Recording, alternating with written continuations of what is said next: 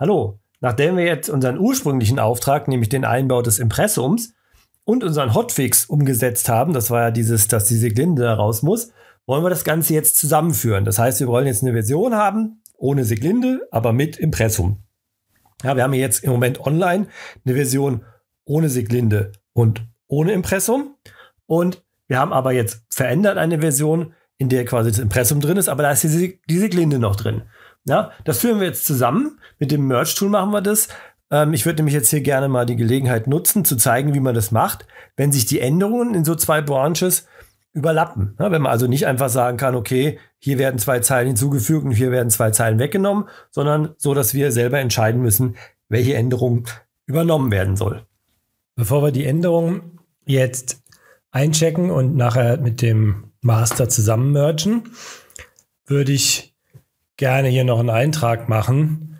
Ähm, ich möchte nämlich damit provozieren, dass wir nachher einen Konflikt bekommen so dass ich Ihnen das Konfliktmanagement nochmal vorführen kann. Und deshalb schreibe ich jetzt hier oben in den Bereich, wo wir eigentlich was gelöscht haben, einfach noch tolle Aktion rein. Dann speichere ich das ab.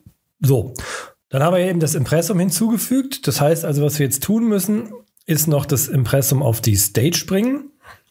Machen wir das mal eben. Also Add Impressum. Und jetzt können wir quasi die Änderungen committen, also sprich ins lokale Repository einchecken. Also geht commit, jetzt Issue Nummer 1, Impressum hinzugefügt und verlinkt. Das machen wir jetzt mal, sehen wir, erscheint hier eine neue Version. Das ist jetzt im, also als neue Version hier in diese Versionskette unter dem Label Issue 1 eingecheckt. Gut, das Mergen funktioniert genauso wie eben. Wir gehen wieder in den Master ja, also holen uns den Master als, als Head. Wenn wir jetzt hier reinschauen, sehen wir, ja, das ist unser Master. Hier fehlt alles, ne? Und hier ist noch der alte Link drin. Das passt. So, Vorgehen ist wieder, ich mache ein Merge, also Merge Issue 1. Und wenn ich das jetzt ausführe, dann sehen wir, aha, gibt es jetzt einen Konflikt. Ja, das war ja Absicht, haben wir eben gerade selber kaputt gemacht. Da sehen wir, hier gibt es jetzt eine Version, die ist zwar da, aber sie ist nicht direkt committed. Ja? Also das ist im Prinzip jetzt erstmal eine gedachte Version, bestehend aus einem Merge zwischen diesen beiden Issues. Und da sehen wir hier, der Konflikt ist jetzt in dem Fall nur einer in diesem Footer Inc. Ja, schauen wir uns da mal an, was er jetzt da reingemalt hat. Dann sehen wir, aha, hier wird jetzt äh, angezeigt, wo das Problem liegt. Also hier gibt es so, was vom Head rausgeworfen worden ist. Dann gibt es beim Issue wieder Dinge, die reingepackt worden sind. Also hier gibt es den Konflikt. Aber so möchte natürlich keiner damit arbeiten. Deshalb nehmen wir uns das Merge-Tool. Das rufen Sie auf mit Git Merge Tool.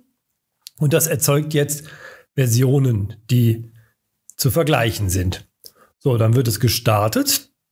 Und dann sehen wir hier, haben wir jetzt zwei Änderungen. Ne? Das eine ist hier unten unser Impressum und das andere ist hier oben, ah, hier ist irgendwie diese Sonderaktion und da hat er jetzt irgendwie festgestellt, die gibt es einmal in der Version, einmal in der Version. Da weiß er jetzt nicht so genau, was er machen soll. Hier sind so kleine praktische Pfeile dran. Wenn ich jetzt sage, ich möchte gerne diese Version in diesem Mittelstück, ja, da sehen Sie, da steht Footer Inc., das ist die Originalversion und das hier ist jetzt die Version, die aus diesen verschiedenen äh, Seiten kommen, ne? also die Remote-Version und die lokale Version. Also sagen wir, wir wollen von der lokalen Version dieses Nichts, ja, kann man also hier reinholen und wir wollen von der Remote-Version dieses Impressum haben. Ja. So soll es aussehen. Wenn es so fertig ist, können wir es dann speichern. Sie haben auch hier die Möglichkeit, zwischen den Fehlern hin und her zu springen und hier auf Save, dann wird gespeichert. So, dann machen wir das wieder zu. Ne? Also das ist jetzt das, was wir erreichen wollten. Das gefällt uns gut. Das ist jetzt auch alles blau. Das heißt, wir haben alles bearbeitet. Das ist sehr schön.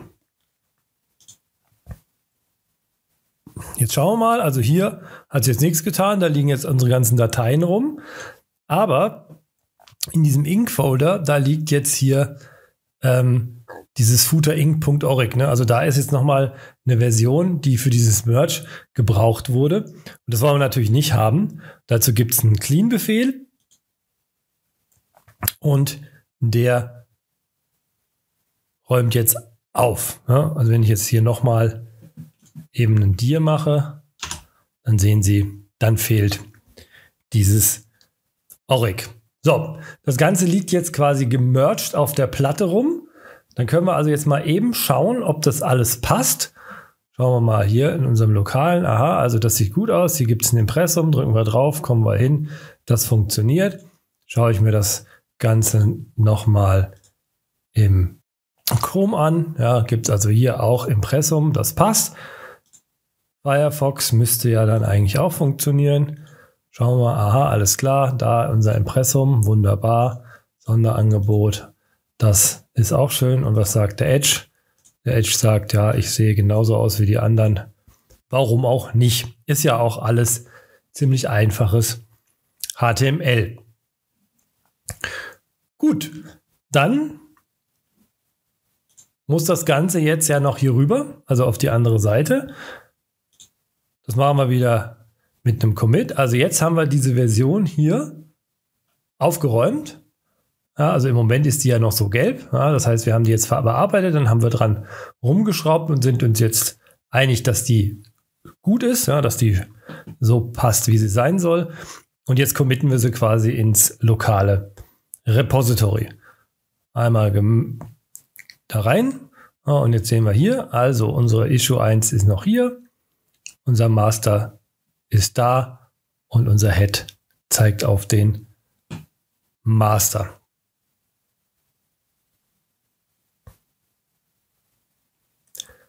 Gut, jetzt das Ganze einmal rüber gepusht, also auf die gegenüberliegende Seite und dann sehen wir, wird hier die komplette Versionshistorie eingebaut, also diese, diese ganze Branch-Historie wird eingebaut und das Ganze wird dann entsprechend nach äh, zu GitHub übertragen. Schauen wir mal eben rein bei GitHub. Also schauen wir mal in unseren Code rein. Dann sehen wir hier unter Insights können wir das sehen. Also hier gibt es dieses Network. Und da sehen wir jetzt, aha, alles klar. Es ist also folgendes passiert. Das hier vorne ist unser Initial Commit. Dann kommt das Create Ignore, dann kommt diese Implementierung der ganzen Seite. Dann gibt es zwei Wege. Einmal der Weg hier, wo wir den Issue 2 mit der Siglinde ähm, fertig machen und dann hierhin zu, zu, dem Merge führen. Und dann gibt es hier den, den, mit dem wir angefangen hatten, also dieses Starting an der Nummer 1 zu arbeiten mit dem Impressum und entsprechend dann hier das Abschließen von dem Impressum und entsprechend der Merge. Production sehen wir, liegt noch hier. Ja, das passt ja zu dem, was wir uns vorgestellt haben. Ja, der liegt ja hier auch noch an der Stelle. So, nachdem wir das jetzt alles zusammengefügt haben, haben wir jetzt eine Version, die unser Auftraggeber so haben wollte. Also wir haben diese Glinde-Aktion rausgenommen, wir haben das Impressum eingebaut ähm, und die Version muss natürlich jetzt auch noch auf den File-Server. Und das machen wir dann genau im nächsten Video.